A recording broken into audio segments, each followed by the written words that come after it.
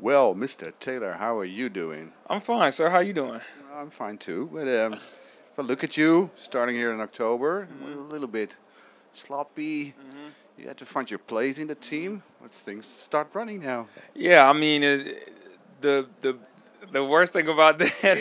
MVT. Yes,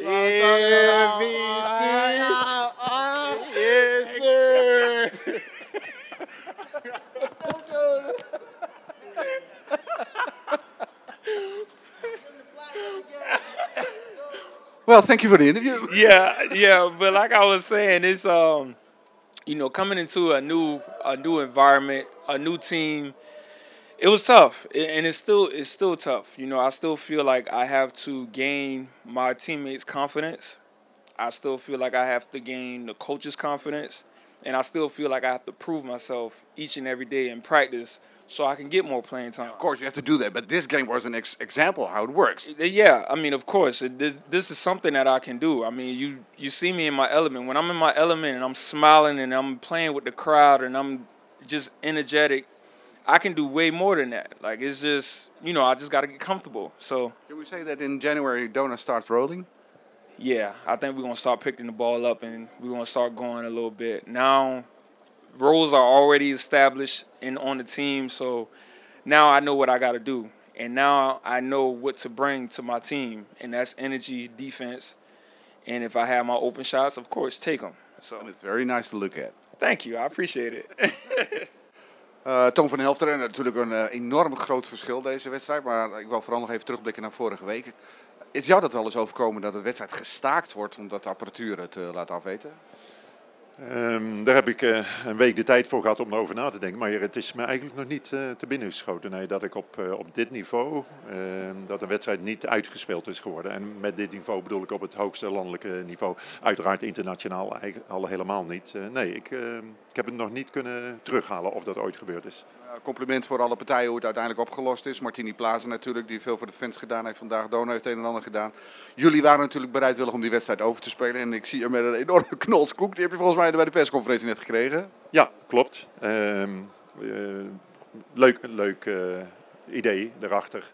Ehm, ja, en vorige week, eh, het is natuurlijk niet waar je voor komt in eerste instantie. En weet je, achteraf, eh, maar dat is achteraf denk ik, hadden we- misschien hadden we eh, beter eh, vorige week donderdag toch in Rotterdam kunnen spelen. Om dan vervolgens eh, vanavond hier de tweede wedstrijd te spelen. Dat was gezien onze wedstrijdprogramma, was het eh, achteraf gezien ook wel beter uitgekomen. Je had, een, gebeurd. je had al een hele poos al geen wedstrijden gespeeld met je ploeg. Nee, klopt. Ja, ja. We hebben eh, 14 jaar geleden voor het op donderdagavond in de bos gespeeld. Het is nu woensdagavond, 14 dagen ertussen. Geen wedstrijd gehad, behalve die 10 minuten van vorige week. En dus eh, ook dat heeft ons niet, eh, niet echt geholpen. Eh, maar goed, eh, het is zoals het is. En, eh, we spelen nog een keer in Rotterdam in elk geval eh, voor, de, voor de beker.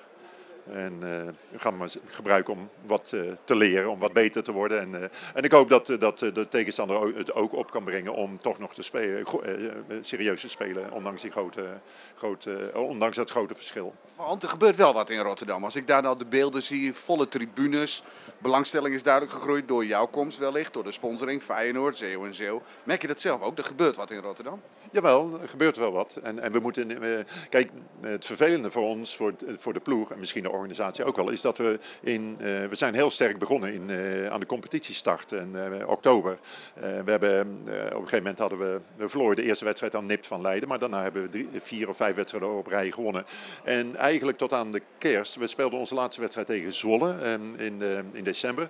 En die, eh, en, die, en die verloren we. En eigenlijk daardoor. eh, eh, sorry, ik moet corrigeren, dat is niet waar. Daarna verloren we thuis van Weert. En dat is een wedstrijd die we eigenlijk niet hadden mogen verliezen, vind ik. En dat kostte ons de tweede plaats. En anders hadden we tot, eh, eh, tot in januari op, op een tweede plaats gestaan. Nou, tweede plaats is niet eh, waar we horen te staan, laten we duidelijk zijn. Maar eh, we hebben het zo goed gedaan toen, dat het nu eigenlijk alles een beetje, een beetje tegenvalt. En, en ook de nederlagen erg groot uitvallen. En dat, dat eh, ja, gaat een beetje aan het hart. Toch, toch alle respect voor datgene wat je doet in Rotterdam en dat die ploeg op niveau nou meespeelt. En ik wens je daar veel succes mee. Oké, dankjewel. Shane, wij eh, kennen jou eigenlijk als sterk naar de basket. Daar sta je op bekend, de drive. Maar vandaag eh, heb je daar niks van laten zien, had je niet nodig. Ja, je bent, staat nu bekend als de schutter van Donar. Ah, de schutter van Donor denk ik niet, dat is Matt Williams. Maar eh, ja, ik heb veel gewerkt aan mijn schot. En ja, ik ben blij dat hij uiteindelijk nu een beetje erin aan het gaan is. Ze is nog steeds een beetje inconsistent. Ja, was het woord in Nederland? Ja, inconsistent. Maar oké, ja, daar werk ik aan. Vandaag speel je tegen Feyenoord. Vorige week zijn je er ook aan die wedstrijd begonnen. Hoe lastig is dat om nu weer de switch te maken en weer voor te bereiden op dezelfde tegenstander binnen een week op dezelfde wedstrijd eigenlijk? Nou, het is niet lastig, het is juist makkelijker. Sinds we vorige week de hele tijd uh, met hen bezig waren.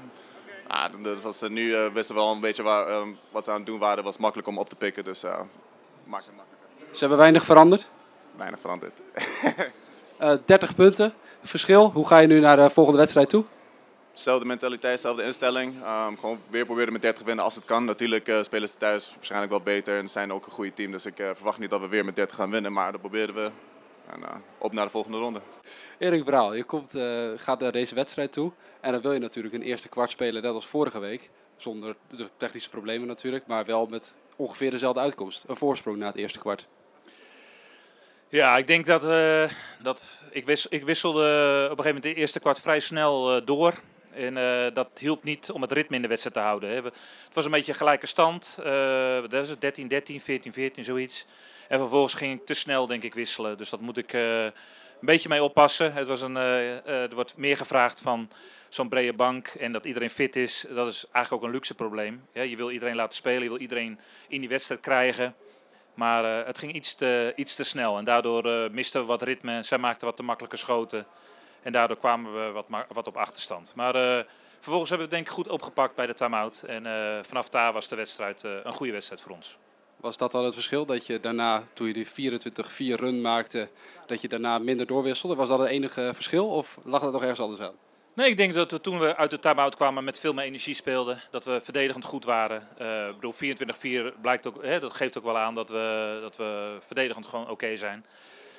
Ehm en nou ja, soms is het ook wel goed om weer eventjes de punten te benadrukken waar we waren. We hadden, we hadden wat afspraken over hoe we Snijder gingen verdedigen. Daar hielden we ons niet aan. Uh, daardoor scoorde hij wat te makkelijk. Uh, ik denk dat we dat daarna ook uh, oplosten. Dus kleine dingetjes die je dan kunt corrigeren in zo'n time-out. En dat had wel effect. En op een gegeven moment zijn die dingen gecorrigeerd. Dan loopt het. Sta je de hele tijd 10, 15, 20 punten voor. Is jouw taak dan klaar? Laat je de jongens dan de wedstrijd uitspelen? Of, Nee, want ik denk ook dat je dat wel zag. Uh, was, we wilden uh, echt uh, proberen zo groot mogelijk verschil op de borden te zetten. Hè, dus niet tevreden te zijn, de wedstrijd ook niet te laten doodbloeden.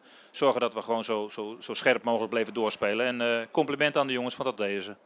En volgende wedstrijd, hoe ga je die nu met 34 punten voorsprong in? Hoe bereid je de jongens daarop voor? Ja, de volgende wedstrijd is, is Weert uit. Dus nu nog niet bezig zijn met de terugwedstrijd?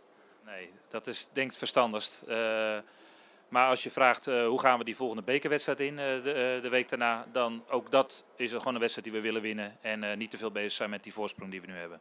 Dankjewel.